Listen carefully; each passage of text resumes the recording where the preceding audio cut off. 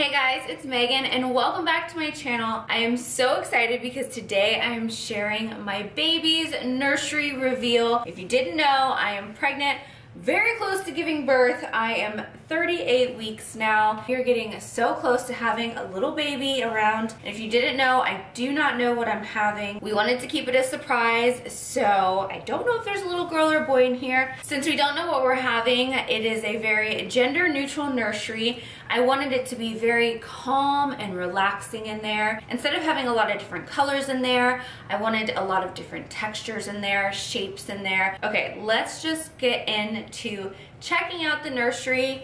As you can see, I have this little um, macrame plant holder hanger on the door. This was a gift from one of my best friends and I think it looks perfect on this door and I'll just switch out the greenery. This I just picked from out in my yard. I love some Boston fern, so it totally fits with the vibe of this room. The room is a very little bit of farmhouse, mostly bohemian kind of style to it. So Lennon, my daughter, wanted to join me because she has helped me so much on the baby's room. All she wanted to do was do the baby's room, right? Mm -hmm. Ever since Christmas. We waited until after Christmas I shared in my last video kind of process of painting, putting the shiplap up on the wall and all of that and then she has helped me pull the whole nursery together. So let's go check out the nursery.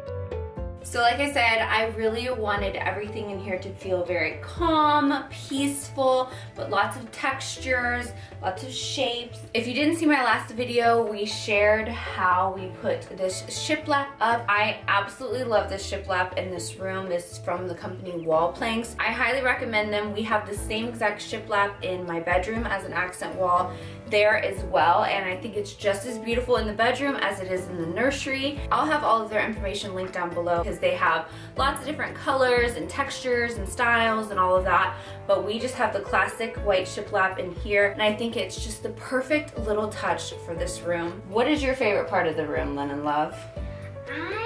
Have no idea because it's so good. All of it is right. All of it's your favorite yeah. part? Didn't you help decide that we do the sleepy animals on the baby's wall, on the accent wall? Yeah, I did help with a lot of things. You helped with a lot of things.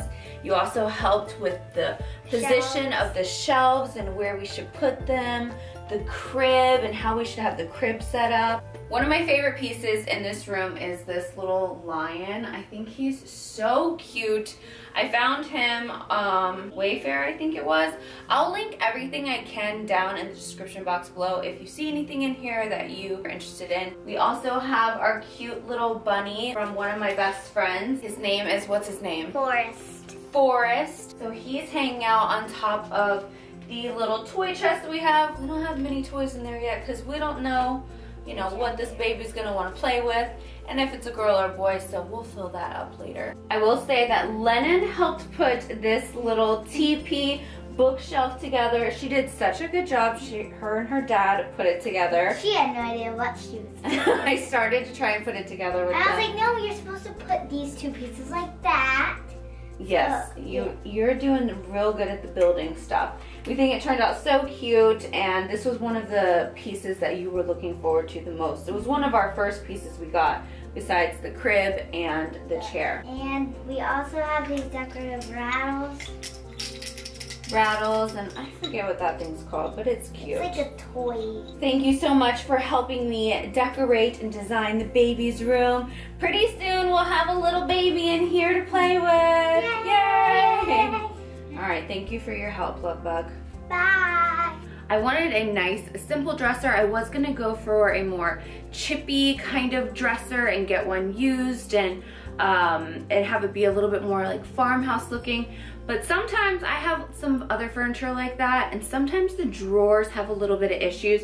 So I decided, you know what, let me just get a, a kind of plain, easy, simple dresser. And then I decided to order these little leather handles off of Amazon. And I think they look so cute on there. You can do them like this or if you have a dresser with two holes, um, you can have them more like a handle that you, a horizontal handle but I think they look so super cute like that and were super affordable and kind of just changes up the whole look of this um, dresser. So I love that. And then I decided to not go the traditional route of a baby changing pad or anything. I decided to go with a baby changing basket. I think it's just really cute. It might not be that practical later on, but I think it'll be cute for a little while and I do want to take some newborn pictures of the baby in this basket as well so it'll be multifunctional. Really wanted to have leather accents in here so I went with this leather chair that is a glider and it's also a recliner. I wanted to have the option to have both and this was um, the color leather that I wanted to go with, which there's not a ton of options for ones that recline, glide, and are this color leather.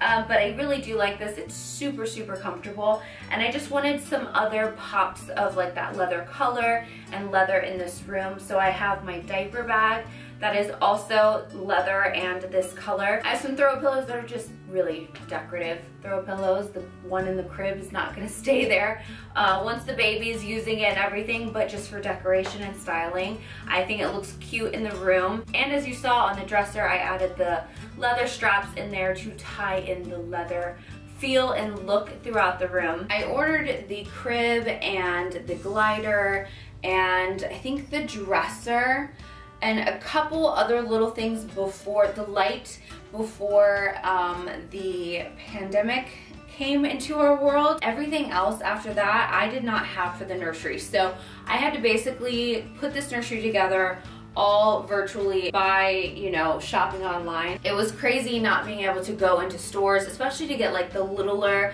knick-knacky things or the little, you know, just the little touches. I really wanted to have touches of greenery all in this room. I have fresh live greenery in here. Obviously, this tree is not live. I would love to have a real tree in here, but this room just doesn't give it enough natural light to be able to have a real tree in here. But I do love that I'm able to have some other plants in here that are real and I just love the earthy kind of feel that this room has. I hope you guys enjoy checking out my baby's nursery and if you're looking for some gender neutral nursery ideas, maybe this gave you some ideas or inspiration. If you enjoyed it, please make sure to give it a thumbs up and if you think you know someone that would enjoy this kind of video, share it with them. I would love and appreciate that and that's it for today. I hope you guys have an amazing rest of your day and I will see you in my next video.